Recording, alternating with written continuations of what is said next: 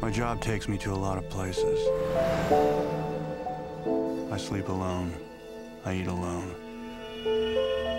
I'd like to meet someone, but it's tough when you live out of a suitcase. My name's Joe. This is what I do. Bangkok dangerous.